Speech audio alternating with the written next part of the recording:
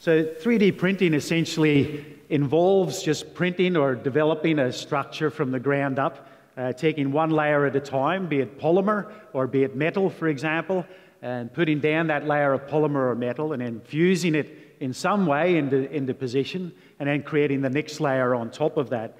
It's powerful technology. It's really turned manufacturing on its head.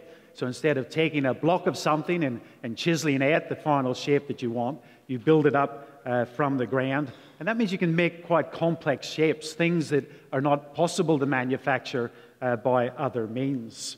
So, what this has done, the impact that it's had on research laboratories and for people like me as a research scientist, is it's had a dramatic impact on our ability to turn thoughts into things. So, you know, scientists and researchers dream up new ideas a dime, a dime a dozen. You know, we're generating new ideas every minute.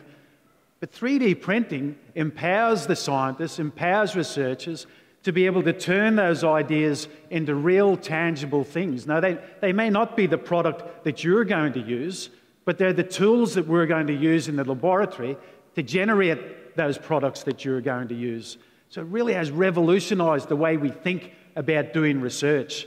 It's empowered researchers to be much more creative than the researchers that we were even five years ago. We can afford to be much more, much bolder, much more ambitious in the types of projects that we undertake because of the advent of 3D printing.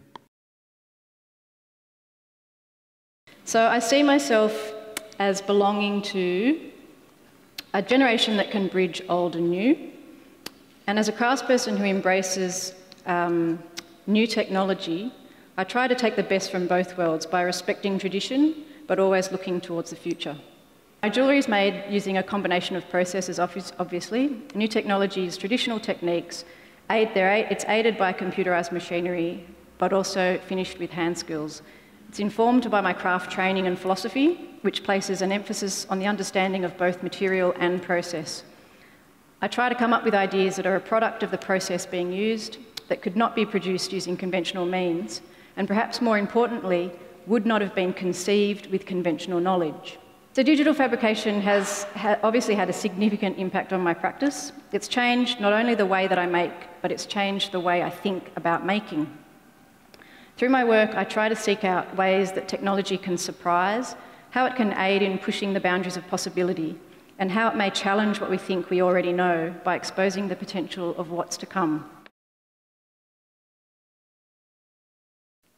We know that um, in, in our community, in Australia, arthritis accounts as the third commonest cause of disability.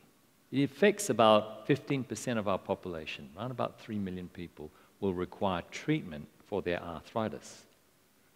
But what we and, Gordon, my team in Melbourne and, and Gordon are trying to do is look at ways of combining a patient's own stem cell taken out of their body and grown, mixed with little scaffolds that Gordon makes, grow it up and put it back into the patient.